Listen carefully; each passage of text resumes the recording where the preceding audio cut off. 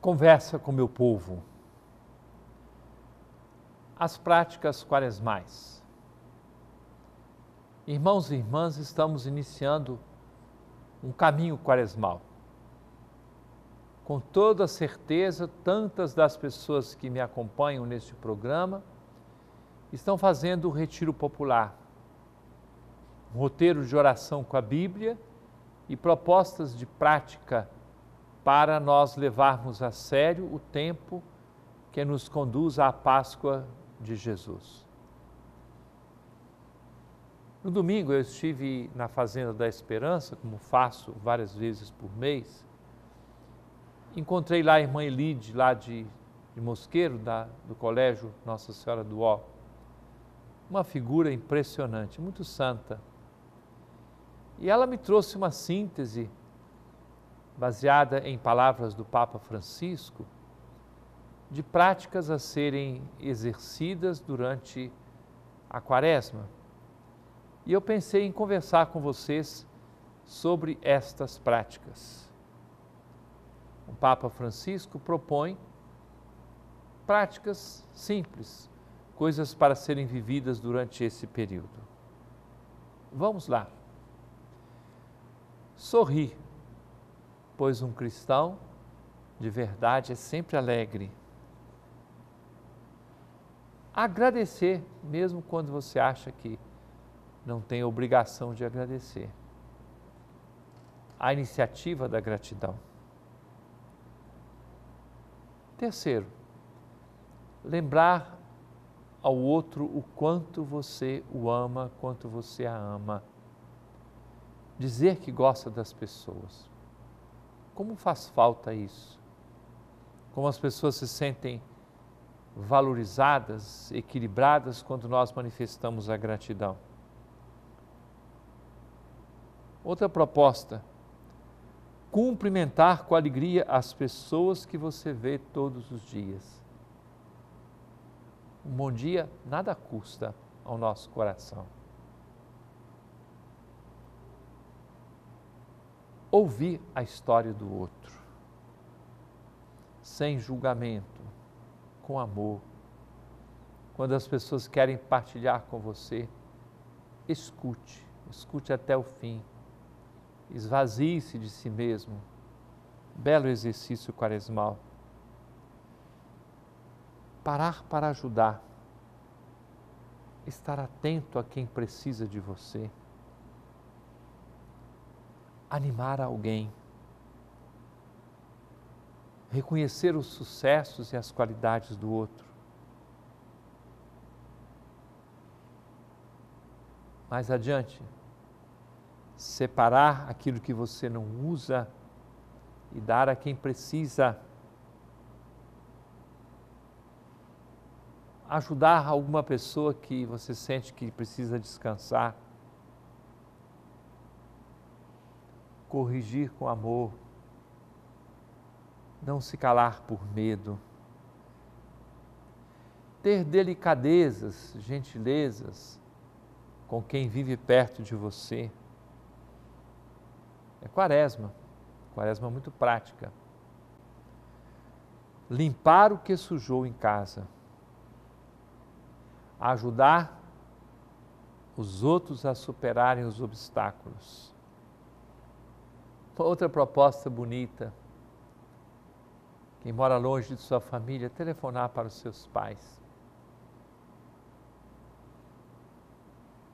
Esta religiosa do Colégio Nossa Senhora do Ó tomou essas propostas, fez um folhetinho pequeno, está passando para os alunos, crianças, adolescentes e jovens. Que bela iniciativa! Depois, a partir de falas do Papa Francisco, o melhor jejum. Que jejum podemos fazer durante esses dias da quaresma? Jejum de palavras negativas e dizer palavras bondosas. Jejum do encher-se de gratidão.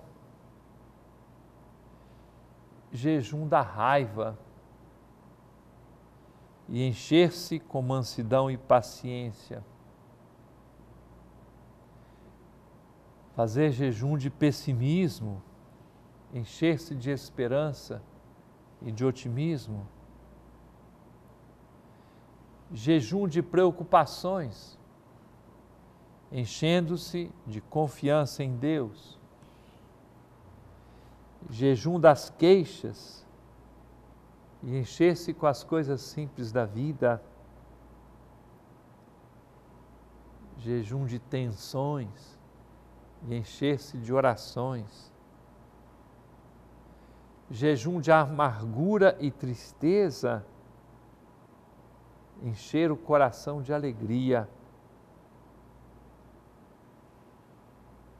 Jejum de egoísmo, encher-se com compaixão pelos outros. Jejum da falta de perdão, encher-se de reconciliação. E enfim, jejum de palavras e encher-se de silêncio para ouvir os outros. Como você vê, a quaresma não é um tempo triste, é um tempo de nós nos reerguermos, olhando para frente, olhando para o alto, olhando para a Páscoa. Povoar a nossa vida com essas experiências que significam sair do egoísmo, sair do pecado, sair do maldade, da maldade. É uma bela prática para nós exercitarmos durante esses dias de quaresma. Você vai dizer, mas Dom Alberto, eu não consigo guardar todas essas coisas. Se você guardar uma proposta, por exemplo, reconhecer os sucessos e as qualidades do outro, guarde essa proposta. E guardar um jejum, por exemplo, jejum da raiva e encher-se de mansidão e paciência. Todo o resto vem junto. Porque aqui é tudo baseado no Evangelho. E cada palavra do Evangelho bem vivida, essa palavra puxa as outras todas. Por quê? A caridade, o amor a Deus e amor ao próximo, nos faz cumprir toda a lei, toda a Escritura chega junto de nós quando nós vivemos qualquer uma das palavras ou traduzidas nessas propostas que hoje nós apresentamos para a vivência do tempo da Quaresma. Caro irmão, cara irmã, permaneça conosco, daqui a pouco estamos de volta. Conversa com meu povo. Caríssimo irmão e irmã, eu fui como que provocado por várias perguntas que pessoas me fizeram a respeito de algumas práticas que correm em nossa arquidiocese, em nossa região. Há uma multiplicação de igrejas, grupos religiosos para todo gosto. E o que acontece? É que nós encontramos pessoas que se dizem bispo ou padre. Cada pessoa tem o seu direito da prática religiosa. Mas eu tenho que dizer com muita clareza: quando alguém diz assim que é padre ou bispo da igreja carismática católica, eu tenho que dizer com clareza que não é a Igreja Católica Apostólica Romana. Se a pessoa vai se casar ou participar de algum ato de culto, depois passa aperto, como já aconteceu por aí. Ou se alguém vai dizer que é Igreja Ortodoxa da Amazônia, ou então Igreja Anglicana de vários tipos, porque tem tantos anglicanos que são conhecidos nossos e que são pessoas tão sérias, mas às vezes tomam nome de anglicano para lá e para cá, né? As pessoas têm a sua liberdade religiosa, mas não se deixem confundir. Igreja carismática católica não é católica. Igreja Ortodoxa da Amazônia não é católica. Né? Igreja é, Anglicana de Votorantim não é católica. Você quer participar dessas igrejas? Eu não posso proibir. Agora, cuidado porque as pessoas, infelizmente, se deixam enganar. Eu peço a esses ministros dessas igrejas, aos quais eu quero respeitar como pessoas e como liberdade religiosa, mas seria muito interessante se aceitassem um apelo nosso de dizer às pessoas quem são e a que vieram. Porque nós sabemos de porta de velório, como aparece gente lá oferecendo para fazer encomendação, missa de sétimo dia, né? inclusive a um custo muito significativo. Umas pessoas prometem fazer casamentos em sítios, em fazendas, em salões de recepção. E depois a pessoa vai a uma igreja católica procurar a certidão do casamento e descobre que não era casada. Correu por aí uma fotografia de uma pessoa que se diz bispo, com os paramentos próprios da Igreja Católica. Um sacerdote nos disse que houve uma figura assim que celebrou num condomínio e simplesmente não disse que não é da Igreja Católica. Pelo menos isso. Diga a que, a que veio, qual é a sua, a sua profissão religiosa, mas por favor, né, seria uma questão de honestidade. A gente pode dialogar, conversar com quem quer que seja, mas que não façamos esse jogo que é muito ruim, é muito triste e as nossas comunidades ficam machucadas, feridas e as pessoas acabam se tornando enganadas. Eu posso ser católico, posso ser protestante, posso ser evangélico, posso ser do jeito que for, posso ser sem religião. Eu posso lamentar, mas tenho que respeitar.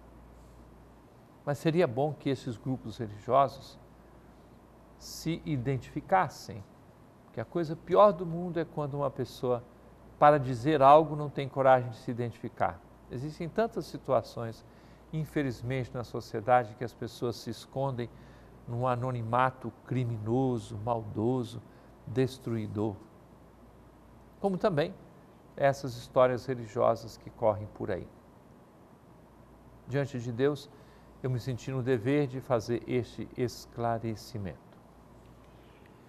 E agora vamos às perguntas que as pessoas nos enviaram Liusa Castro. Dom Alberto, a campanha da fraternidade busca a cultura da paz. Nossa cidade e o Brasil estão mergulhados numa verdadeira guerra. Como a campanha pode agir concretamente para a construção da paz? Eu quero dizer uma palavra a respeito da campanha da fraternidade. No último sábado fizemos o lançamento da campanha lá no ginásio de esportes em Marituba. Nós podemos, antes de tudo, estabelecer práticas diferentes. Se eu começo a pacificar o meu coração, a não considerar o meu vizinho, a minha vizinha, como inimigo potencial, mas como irmão, se eu tenho possibilidade de participar de algum grupo da sociedade que ajude a superar a violência. Se eu trabalho, por exemplo, em algum organismo, vou dar o exemplo, se eu sou policial, será que não pode melhorar alguma coisa? Daí é bom observar uma coisa que para mim é muito importante. Eu não tenho um instrumento, a igreja não é polícia, a igreja não tem que construir presídio, a igreja ela tem que construir o coração das pessoas. Ela pode contribuir muito ajudando-nos a mudar a nossa mentalidade. Quando a gente contribui para uma sociedade injusta, agressiva, eu dizia isso na abertura da campanha de fraternidade, quando a gente ajuda a cidade a ser feia, mal cuidada. Eu estava voltando do lançamento da campanha da fraternidade e vi na rodovia uma pessoa abrindo a porta do carro e jogando lixo no meio da rodovia. Alguém me disse que há pouco tempo viu uma pessoa abrir a porta do carro e numa, numa rua jogar um coco. Quando nós fazemos isso aqui, nós estamos ajudando a violência, porque a nossa sociedade é violenta pela sua injustiça, pela sua maldade, pelo seu jeito de tratar as pessoas. Então comece em casa. Vamos começar entre nós a construir um mundo menos violento. Eu passo pelas ruas, rodo pelas várias cidades da nossa arquidiocese. Às vezes me assusta quando eu estou passando de carro e eu vejo uma casa escancarada e uma gritaria, parecendo que palavrões saem voando. Como é que essa pessoa vai construir a paz se dentro de sua casa ela age dessa forma? Ah, mas a pessoa está deprimida, está isso. Vamos começar a ser diferentes. A gente não cura a depressão, não cura a agressividade, reforçando os comportamentos que nos afastam dos outros. Naquilo que eu tenho consciência, eu devo começar. Campanha da fraternidade é para nós começarmos, darmos o primeiro passo. Vanilson Pereira Feitosa, de Belém. No Alberto, alguns bispos do Brasil estão se pronunciando em suas homilias sobre este momento em que vivemos, criticando e opinando. O altar das paróquias é um lugar para isso. Vanilson, você deve ter observado que em vários momentos, também nas homilias, eu faço referência às situações em que nós vivemos. O altar não é lugar de discurso político de forma alguma seria absolutamente inadequado. Mas a pregação da palavra de Deus é um lugar para uma revisão de vida. Eu prefiro, nas nossas homilias, pregar para quem está me ouvindo. E o ouvido mais perto da minha boca é o meu. Eu prefiro refletir com as pessoas que estão ali. Senão eu vou falar mal das autoridades, do governo, etc., de povo que nem vai à missa. Eu prefiro que nós reconheçamos as falhas que nós temos. Não posso entrar em julgamento a respeito de comportamento de bispos ou padres, porque cada um tem a sua consciência. Rosária Ribeiro, de Belém, estive observando as transferências de padres diocesanos e ela faz uma observação, que não são só padres diocesanos, mas acha estranho que o padre da paróquia a que ela se refere, ela sabe qual é, é, o padre continuar na paróquia. Como explicar? Bom, a explicação é muito simples, que nós não mudamos os padres por mudar. O padre fica em torno de 5, 6 anos numa paróquia e depois ele vai mudar.